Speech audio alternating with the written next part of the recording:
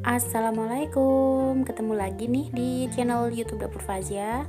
Hari ini saya mau bikin bikang mawar untuk jumlah 50. Dan kali ini saya menggunakan air endapan pandan asli, jadi nanti tuh hasilnya wangi pandan banget. Yuk langsung aja disimak videonya sampai habis. Jangan lupa di like, comment, and share sebanyak-banyaknya. Terima kasih.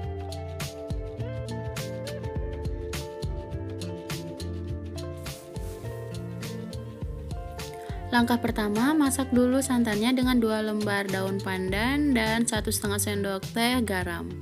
Masak hingga mendidih, lalu biarkan hingga hangat kuku sebelum digunakan. Selanjutnya, masukkan ke dalam wadah besar tepung terigu sebanyak 750 gram, tepung beras banyaknya sama 750 gram.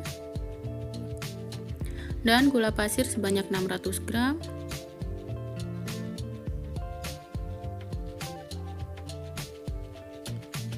Kemudian di sini saya tambahkan eh, air suji sebanyak 500 ml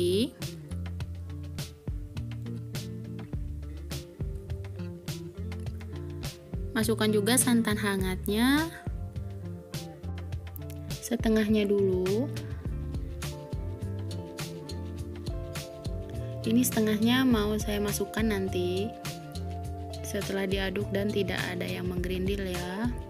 Sekarang aduk-aduk dulu menggunakan whisker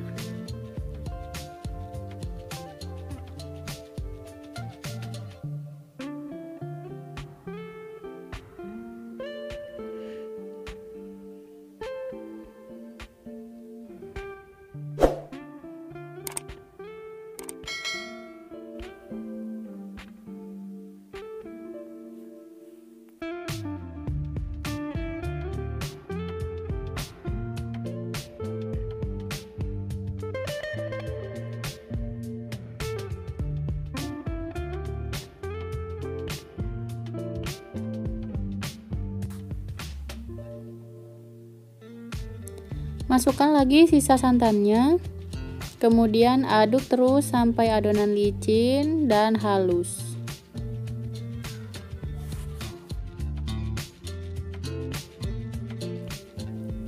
Saya akan tambahkan pewarna makanan supaya warnanya lebih terang.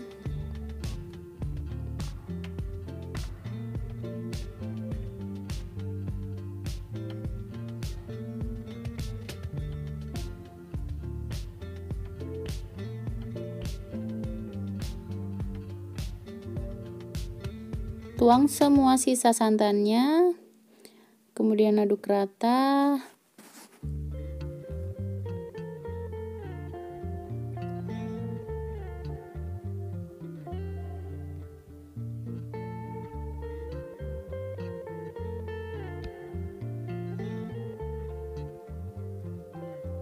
Dan diamkan adonan selama satu jam. Setelah satu jam panaskan cetakan dan siapkan wadah yang berisi air dengan lap.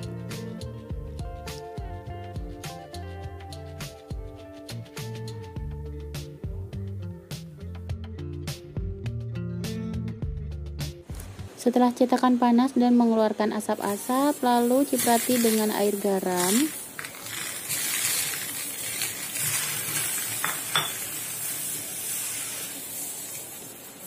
Setelah itu tuang adonan mendekati penuh.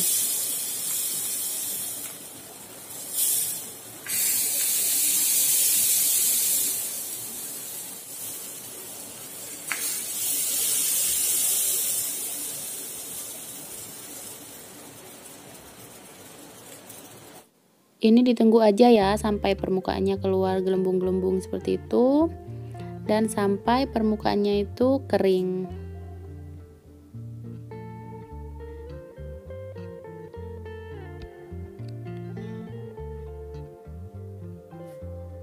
Nah ini permukaannya udah kering, udah nggak ada yang basah lagi, itu tandanya udah matang, udah siap untuk kita pindahkan ke dalam wadah yang berisi air dan lap.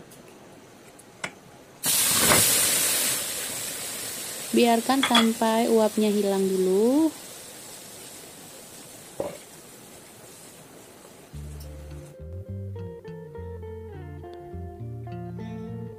baru kita keluarkan dari cetakan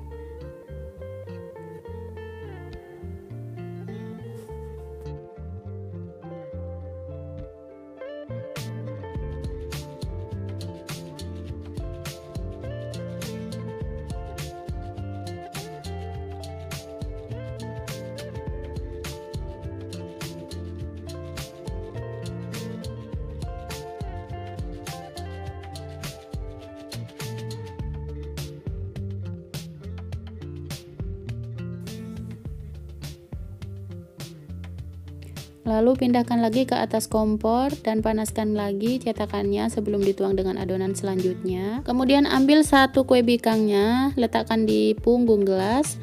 Kemudian tekan bagian tengahnya dengan menggunakan tutup botol air mineral dan gunting sisi sampingnya. Kemudian rekahkan. Lakukan hal yang sama hingga selesai ya. Dan ini hasilnya aroma pandannya itu kecium banget.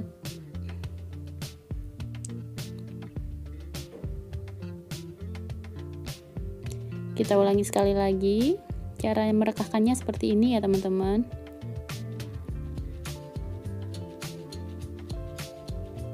Nah mudah sekali kan cara membuatnya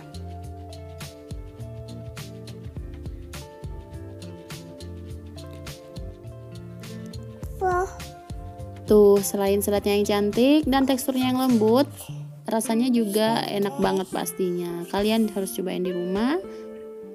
Dan sekian dulu video dari Dapur Fajia kali ini. Nantikan video-video selanjutnya dan terima kasih buat kalian yang sudah menonton. Wassalamualaikum.